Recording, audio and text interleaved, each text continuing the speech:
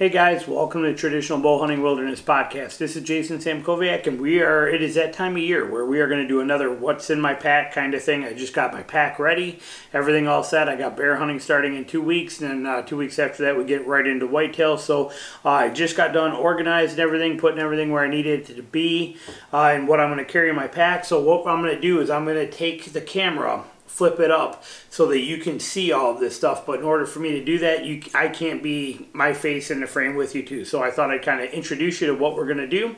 I'm going to reset the camera from a higher angle so you can see all these things, and then I'll point to what's what, explain why I carry it, and uh, break it all down for you. So uh, I'm going to reset the camera, and I'll be right back.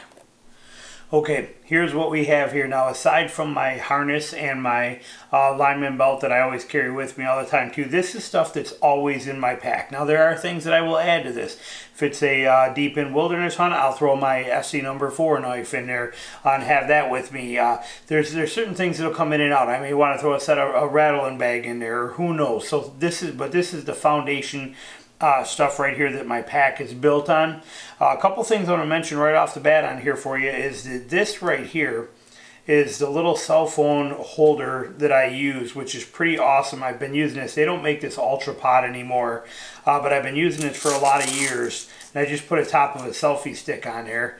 Uh, but basically what this is, is it's a little mini self-standing tripod that stands up but it also can be strapped to a tree. So I've been using this for a while and you can just clamp your cell phone right in there so it sits nice.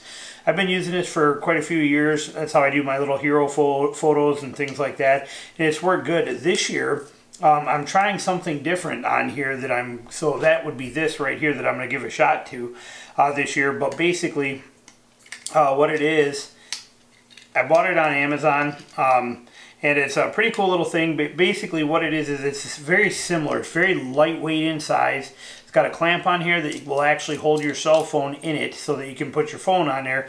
And it is a tripod, so it does stand you know, it will stand on its own like that, you know, wherever you want to put it at.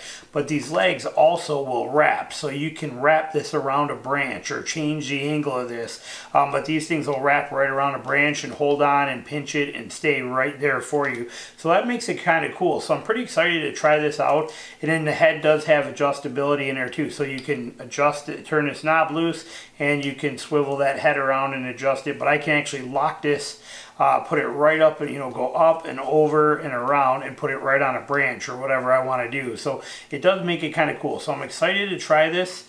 Um, I don't know much about it yet as far as uh, how long it'll last or what it is. It's it was only like 14 or 15 bucks so it's not real expensive.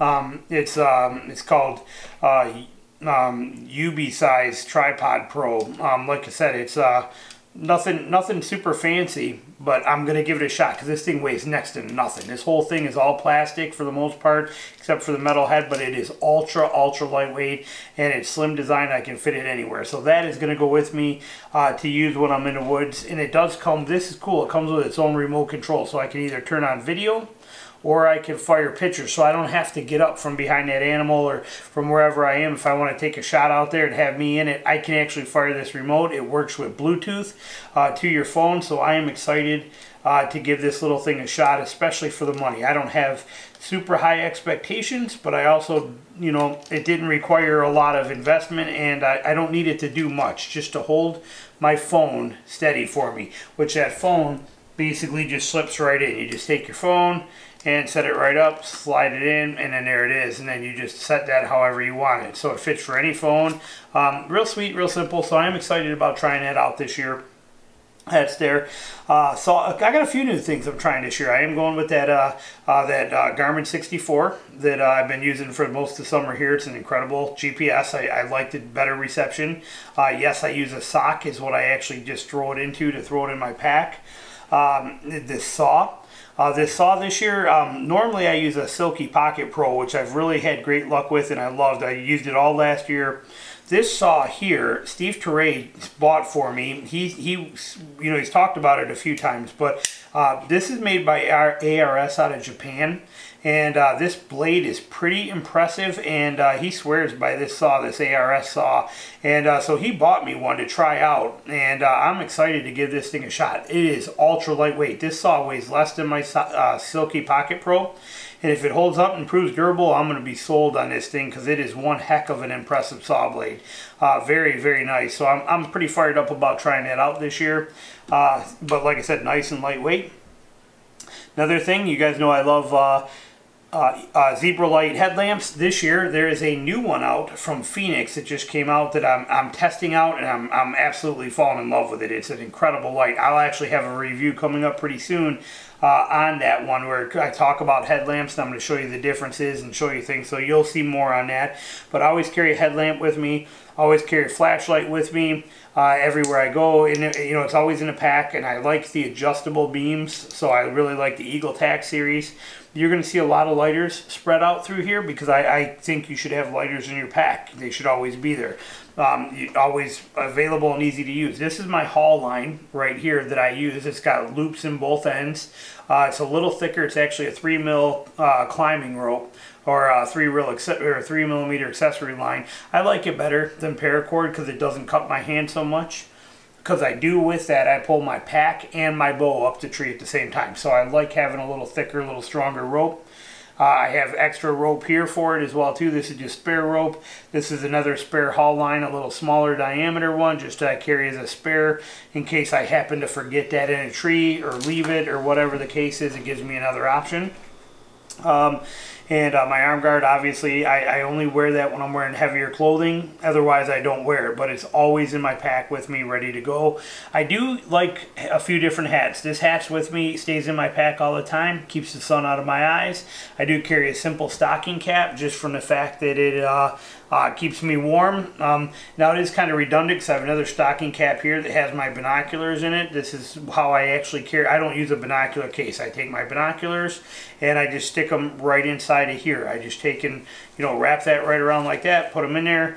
It's quiet. I don't have any zippers or Velcro or anything to mess with. I set it in there and then I just roll that over and that's how I carry my binoculars in my pack. So um, that's how, how those work, sweet and simple. So I technically don't need to carry this hat with me, uh, but I do. I bring it. I don't know why. It's just me. So, and they don't weigh much.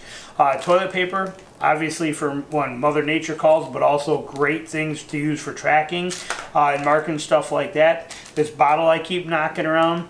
Uh, you've seen this probably in other videos, but this is just a simple uh, regular water bottle that I've crushed down flat. This sits way down in the bottom of my pack. The reason I carry it though, I always have a bottle of water with me or something with me to drink when I'm in the stand too, but this one is one that I can use to boil water. So if I have to spend a night in the woods, I can take this bottle, blow into it and puff it back up to regular size, fill it full of water, take a piece of rope, any of this rope that I have here, and I can hang that over the fire and I can actually boil water in there and uh, it works like a champ. I've done videos on it many years ago. I did some videos and showed you, but I it, it, it just takes up zero space and weighs nothing. And to me, it's easier than uh, you know dealing with you know purification tablets that expire every year and all this. This just always sits in my bag and it takes up no space or room, and it gives me an option to boil water. Um, not that I don't have others like uh, my toilet paper is double bagged. That gives me an option to boil water in one of those bags too. So um, there's things out there, but for me, I just throw that in the bottom of my bag all the time. Uh, while we're on that subject, food, I always carry three of these just simple Jack Links or whatever ones I like these brands. They're around here and they're a dollar a piece, but I always carry three pieces of beef jerky like that with me. Again, if I do have to spend a night in the woods, which uh, when you, you hunt places like I do, it's always a possibility, especially when you get out there and start tracking them. And sometimes it's just easier to just crash for a couple hours and then finish it up when daylight hits it's nice if I'm going to do that to have a little bit of food with me. So I always carry those. They don't take up much space. Um, and uh, this is my, my, basically you would call it kind of my, my, my kill kit, my field dressing kit. Uh, I have that Havalon knife in there. It's basically the Havalon Piranta, which is there. And then I have, uh, I think I got four, three or four extra blades in there, plus a good one on there um, just so it fills that up and doesn't rattle around on there. A couple of wet wipes and some uh, black rubber gloves. And they all go right into this little bag, this little Ziploc bag, and get put right in the pack. Uh, like I said, if I uh, if I'm not, I don't use this Havalon unless I'm boning and quartering out animals. Uh, and if that's the case, I usually have game bags in there with me too, but this just always stays in there with me. Um, while we're on knives, I always have an extra knife with me, and it's this uh, ESEE Izula. This is one of my ones that has not been used yet. Uh, it has gutted a couple of deer, but it has not actually been, you know, I haven't done anything hard with it yet.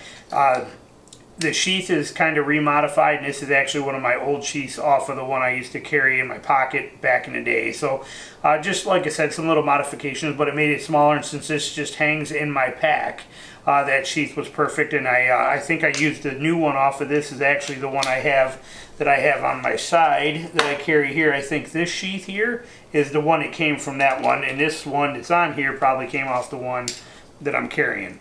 Uh, nothing major there just a little switch up uh, the zip ties, because we use them for putting tags on, plus they also come in handy for all kinds of little things you got to do, so I always carry zip ties in there.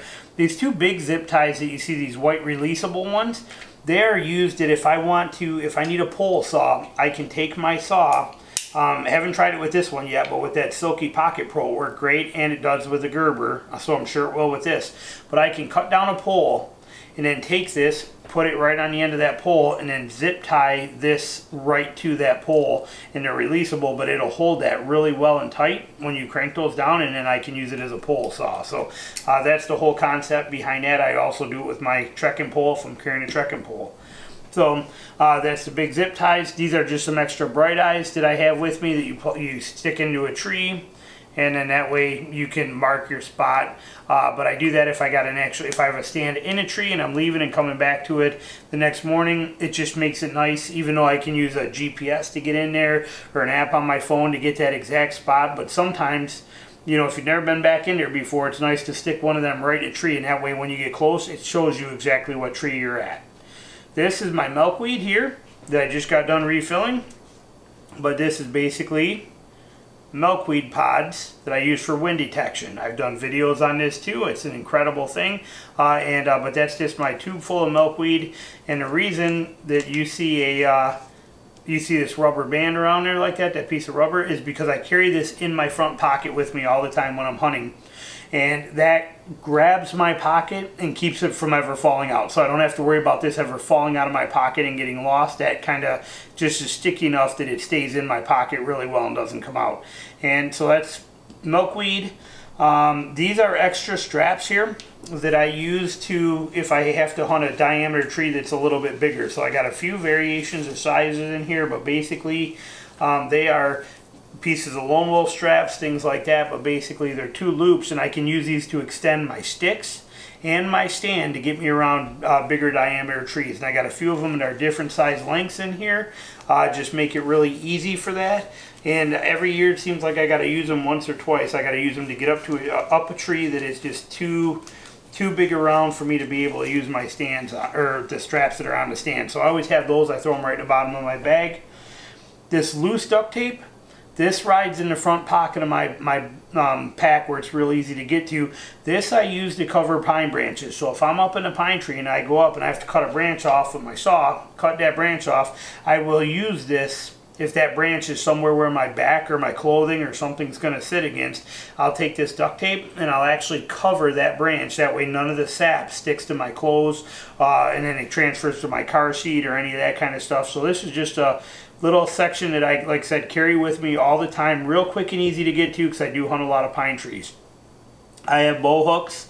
Uh, with the bow hooks, I use a simple, I, I, don't like that bow hook point being there and being able to poke into my pack uh, or jab into anything. So what I do with them is I just buy these little uh, wire connector pieces right here and I just put it, give it a quick twist and they protect my bag and they're not poking through my clothes when I put them in the pocket. But I have a few of those uh, bow hooks that stay in a pack. Plus, I usually carry an extra one of these just because I'm notorious for losing them. So throwing one of them in that pocket makes it easy. Uh, I do carry a quick clotting sponge. We're dealing with broadheads, sharp knives, things like that. This weighs next to nothing, takes up so little of space. I throw it right in there and just let it just sit in there. Uh, always, you know, check the expiration on them. They're good for a long time. This one's good till uh, uh, 11 of 2018. I'll bet I've had this for probably two or three years, but it'll get me through this hunting season and then I'll have to buy another one. And then this little kit right here all goes in this little bag right here. It's just a spare lighter, uh, a little, very small little tube of uh, super glue, that hasn't been opened yet. It's all sealed up, but just comes in real handy for all kinds of things, including cuts, stuff like that. But super glue, uh, some Tums, uh, two little knife sharpeners. There's a standard grit here, and then a medium grit little piece, and I can use that real well. I just hold it between my fingers, and I'll use it that way. Not that I have to do too much with them, um, but every once in a while they come in handy, so I throw them in there. Batteries for my spare lithium batteries for my GPS two spare CR123s. It will work in my headlamp or in this light right here. Um, and then a spare compass. The other compass, you don't see another one on here because it's actually mounted on my belt that I wear on my body all the time. But this is a spare compass in case I need another one. A whistle in case I have to have it, a spare tab, and then more duct tape. Uh, just another little small lightweight section. All of this stuff goes in that bag and sits there with me all the time actually put this rubber band right around it just to compress it, make it nice and small. Uh, this is actually my, my kind of, you know, little bit of, uh, uh, I guess you'd call it a survival kit if you needed to. It's got, uh, you know, ibuprofen in there. It's got fire starting materials, couple of band-aids, uh, roll of dental floss, few gauze packets. It's got three of the survival blankets, so stainless, or the steel uh, survival blankets in there. I don't carry this with me every single time, um, but I do carry it in my, my backup bag, which is always in my truck. And if, I, if I'm hunting in a stand that's not too far away, I don't take it. Uh, but if I have to go blood trail deer at night, I do take this and I throw it in my pack along with the other things that I need. I just grab out of that bag and this gets thrown in. If I'm going into a stand that's pretty far in and I, I want to have it, I bring that with me. But it's, it's in or out. It kind of just decides on what I'm doing but it's always right there, handy, close by, ready to go. I don't leave this at home. It's either in my pack or it's in my truck ready for me to take it if I need it. So um, that right there pretty much covers everything. The rest of it is pretty, you know, I mean, it's, it's not a lot of stuff. This stuff doesn't have a lot of weight to it and it doesn't take up much space, but this is the foundation.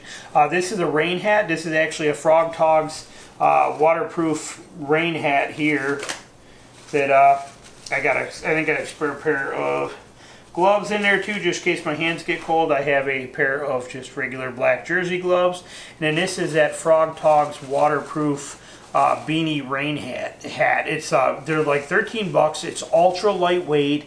I mean, it weighs literally like nothing. It's made out of the same stuff as most frog tog material is, uh, but just really little, very small, and it folds up nice and compact. So um, I, I, leave this one in my pack all the time. If I get caught in a rain, that big wide rim really makes a difference. It uh, um, you know, keeping me dry and keeping keeping me comfortable. So this just is in my pack all the time. That's my little set. Just again gets thrown right down in the bottom of the pack. But so, like I said, very simple, very easy little system. This is the foundation. I may add a little bit or take things away a little bit, but this is pretty much the stuff that's with me um, all the time and gets me through anything I need. You can see that there's really not much I I, I don't need or, you know, there's not too much extra in here. Um, obviously, I could go with a lot less of this if I'm just hunting close to the house, but since it's in my pack, I put it in there, but all this stuff is very lightweight. There's not a lot of weight to this. Probably, by far, the most heaviest thing on here is my binoculars. Everything else weighs next to nothing and takes up very little space in the backpack. So, um, but that's the foundation. That's uh, what what I run. It doesn't matter if I'm running the the Kuiu pack here at home or if I'm running the uh, Exo Mountain pack and I'm running those. You know, I'm all my out of state hunts. It's really easy for me to take that bag of stuff there. That you know, it takes me literally about five minutes to just open a bag up, pull this stuff out, switch bags, and, and keep right on going. So uh, there you go. Hope you enjoyed it, and I'll be back with more stuff soon. We'll talk to you later. Bye.